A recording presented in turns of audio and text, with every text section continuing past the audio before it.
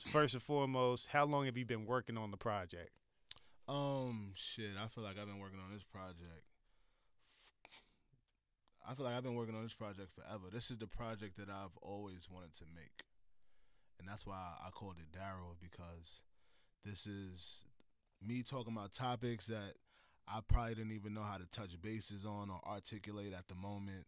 Um, me talking about trials and tribulations in my life, and me having to grow as a person and a human to actually be able to articulate what I want to say. So um, yeah, it took my life to to make this type of music. Otherwise, I was making music and putting it out, and people was fucking with it, and I don't know if I if I could curse. I could. Oh yeah, people was fucking with it, and um, yeah, I just feel like, uh, but I was like, while I was making that music and I was putting out music, I was always like studying and trying to figure out how to better myself and growing as a, a human. And when I took that time off, or when we all took that time off, talking about the pandemic, and then coming out of the pandemic and living a little bit for like an extra two years, um, I was working. You know what I'm saying? I was I was steady working. So, um, yeah, I never stopped working, even if I'm working in the dark when people don't see me working. I'm always just trying to strive to make myself better and, and more fresh because I don't want to put out no regurgitated work. Hmm. I was gonna I was gonna ask you, how do you feel like this project is different from your previous ones? Um, this project is the first time I I stopped to create, like stop, like all my my pre like so you got the first project, and that's actually the project Trap Lord. That took my life to make that project because you have like from the moment I was born, all of what I soaked up as a human and and went to school and life experiences, everything that shaped and molded me into who I am and became. That all went into that first album, Trap Lord. Like I made that album early twenties. So like that was twenty plus years of experience that went into that one project. People just look at it like, oh yeah, he made that during that time, that year. No, it took years of experiences to create that project. So boom, that so you gotta say Trap Lord took like twenty something years to make. After that, it was like, oh, you made hits. So it's like now we keep the hits going and keep making music while I'm in it, and you don't really get a, a chance to really stop and ask yourself why. Like, why am I doing this? Or, you know, what what do I want to change in the world with what I'm saying? And, you know, how do I want to like evoke emotion through people with vibrations and sound and just lyricism. This album, I stopped to do that. And like I said, we all stopped, but it's like I was able to sit down and really like ask myself, like, what do I want to bring to the table of, of music? That's what's up right there. Uh, I want to ask you about some of these songs. Just uh, say whatever you want about it, and just make sure you say the title in there. Yeah. So the first one, I was actually listening to it. It comes out Friday while you was walking in. Yeah. Shit was crazy. Me and that's DJ Head was that's like, "Yo, that's already, wild." Yeah. yeah, they thought I was dead. Yeah, that's what you're talking about. Yeah, yeah. It's because I've been gone so long, and um, I was I actually made that song for like Deion Sanders and uh Shedeur and their whole team when they kept losing and you know they had like the world against them it felt like. But you know it was a, it was like half and half. Like some people was like well not half and half. Everybody wanted them from my my side everybody wanted them to win. So i wanted to create a um a anthem for them to get activated and and turn up and, and beat the guys. So that's what i made it i made it for them but i also made it for myself because I seen a lot of naysayers and things like that, and kind of like not counting me out, but they kind of like trying to ruffle my feathers. And I, I looked at it as a good exercise to go in there and just, you know, create an anthem that just express like everybody's comeback story. It's like, you know, like when you thought like I was knocked down, you know, Rocky Balboa. It's like I come back like right when you thought I was dead, and you know I, I prevail again. So that's what this song is about. The next one that's been going crazy, and it's good to see you and Future back on the same track again. That Allure. Yeah, Allure. Yeah, Allure is Allure is menacing. I mean, that record when me and Mike Will and uh True, we all when we cut that record, that record was already menacing. Like it was like crazy and you know, I learned this from Michael Jackson. Like, well, heard like Teddy Teddy Riley talk about a Michael Jackson story. He said Michael Jackson would create all of his music and be finished with the album, but then he'd be like, "All right, how can we make it better?"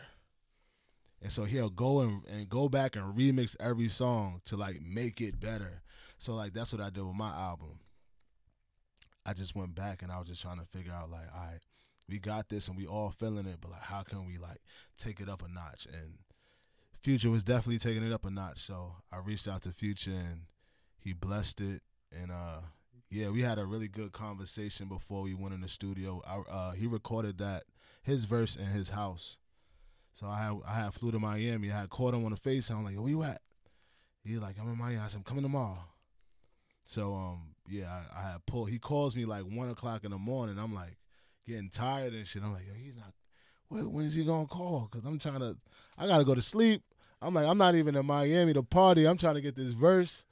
So he called me like one one thirty in the morning. I pull up to his crib and um, yeah, we had we had chopped it up for a minute, caught up, and then like our conversation, you could just hear pieces of it going to the verse. And um, I just thought that was a, a dope, cool like experience just to see like how he work and his process and stuff. Um, we recorded together one time on his tour bus when we was on tour together, but just to see like how him and his engineer works. He like mumbles stuff until like a word comes out and his engineer just knows what to keep and then he moves on to the next thing and he's looking at me after every every bar like like he just like knowing like them shits is hitting so yeah, and I think we got like a really good synergy when it comes down to um making music and building together because we both make cinematic music. Yeah, I mean, yeah. new level still goes up. New ne- new level could be like an intro for Batman or something like. That's what it sounds like to me. It sounds like like y'all need to license that for like the next Batman. Like Facts. that's what it sounds like. a law too. uh, Off White Rose. Yeah, Off White Rose, and that was just a loosie. That's not even on the album. Off White Rose. Shout out to Harlem. Shout out to Ron Browz. Um, shout out to DJ Webstar, the voice of Harlem. All of the Harlem Shakers and dances that popped out. Yeah, Off White Rose is just a is an energy that's familiar, and the beat just sounds so familiar, but at the same time futuristic. Uh, that's like the traditional Harlem dance record, and I just wanted to bring it back home, and that's that's what this whole thing is about. Like me, uh, I guess like if you want to call it my comeback, or if you want to just you know call it like, oh yeah, Ferg putting out music again. It's like showing people like I didn't forget where I came from. Hey, you been killing the features too. That hot one. Oh yeah, yeah, hot ones. Hot ones go crazy. I was just talking to Denzel this morning. Yeah, shout out to Denzel. That was like another one. We did that a, a while ago, actually. So when he dropped it, I was like, oh, we did that like a few months ago. And I kind of forgot about it, but like that's one of my highest streaming records right now, like besides Dreams, Fairy Tales, and Fantasies. Yeah, nah, that shit goes up, man. And then I saw you and Trae tha Truth got one. Oh yeah, me and Trae tha Truth, yep. That rock out. Yeah, rock out. Yeah, me and uh, me and Trae knew each other for years. Like he always like took care of me and the mob. Like when, whenever we came to Texas, he's like part of the Texas family, along with Bun B, Killa Kyleon, and all of the guys. Can't forget Solange. You know, she's my Texas family too. Um, yeah, like he always looked after us, and I felt like it was only right. This this um part of my life, I feel like, is about working with people that really mean something to me. One and two um, instrumental in my career, even if they play the background, um, and just like meaningful things, like people I could really reach out to if I need something or call if I need something. People that have been supportive all my life. Um, yeah. Just maintain those good relationships, like you was exactly. talking about earlier, man. Yep. And Future is one of those guys. You know, tha Truth is one of those guys uh, Neek Bucks. You know, we did something together. Loaded Lux. You know, I grew up watching him battle rap, so I had to get something done with him. So I was like, you know, even my childhood heroes like Loaded Lux, you know, Jay Mills, Vado, you know, um, me seeing that like Neek Bucks is actually a superstar, you know what I'm saying, in a, in a neighborhood. Just because like somebody don't got like a gazillion followers or whatever the case may be, I don't judge people by that. I judge people by the talent and what they're actually saying, what they're putting in the music, and yeah, exactly. Like that's that's how I go off of it. I don't follow like the algorithm of Instagram. I follow like my own real algorithm in real life. Yeah, shout out to Neek, bro. Yeah, yeah, that's a homie right there, man. What's one song off the project that you're like really excited about? One song off the project that I'm really excited about. Uh, it's a song called "Pool." That's a really like uh in depth, deep dive into like the trials and tribulations of my life. Um, I think it's like probably one of the most honest songs I ever wrote. I've never even heard anybody be this honest and direct on a song. Uh, I would say um, "Chosen" because I got Mary J. Blige on it.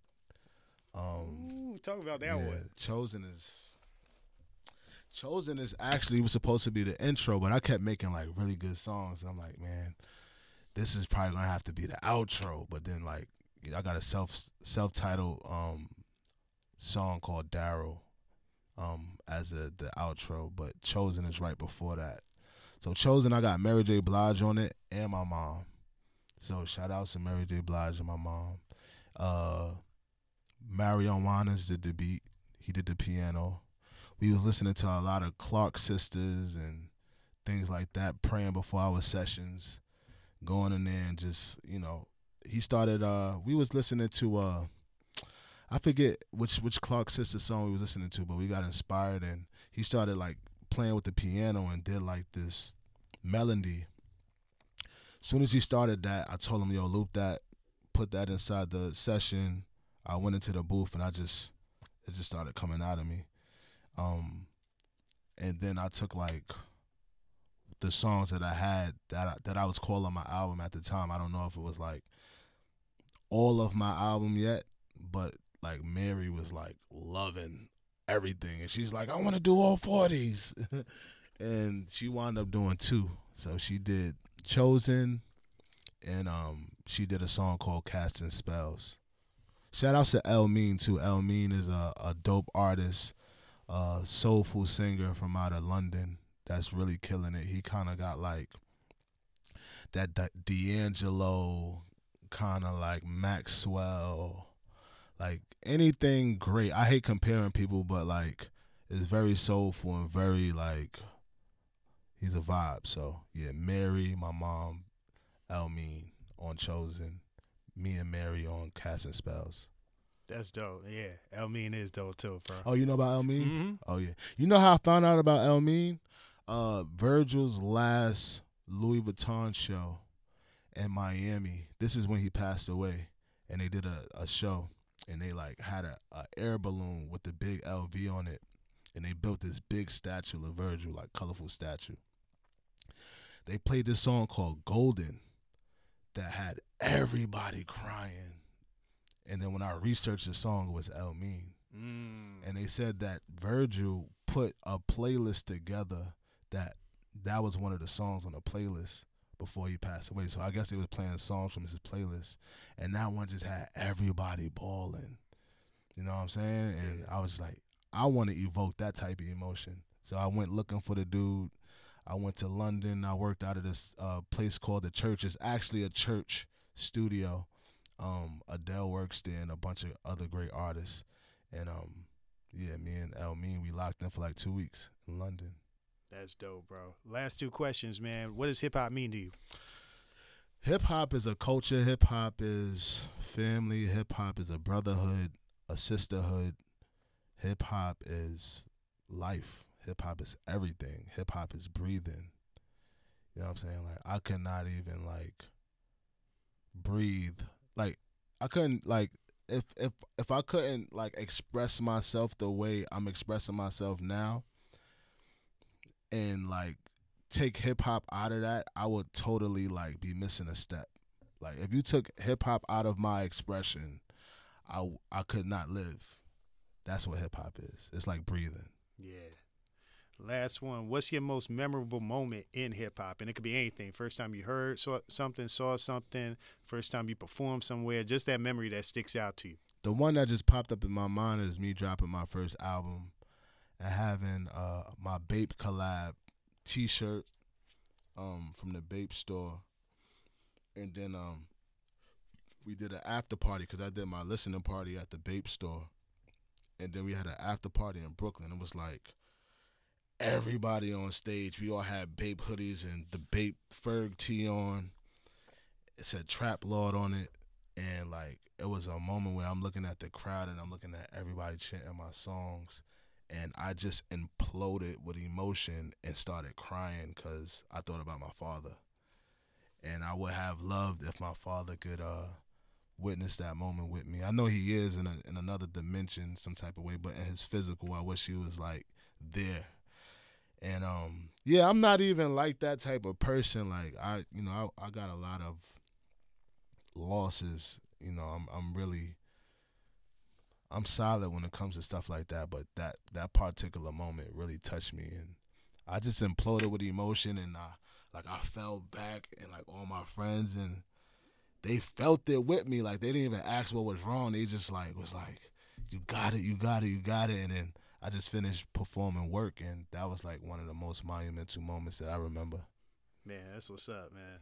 I get where you come from because I lost my pops earlier this year, so there oh, just be man. yeah, there just Sorry be moments where it's like you Sorry cool, and then something happen, you see yeah. something, you think about something like, damn, if he was here, man, yeah. he'd be like smiling. So I get yeah. it. Yeah, it's so wild because I look just like my dad. Like I'm talking about like a sp- splitting image. I be posting pictures of us sometimes, and he looks, we look like twins.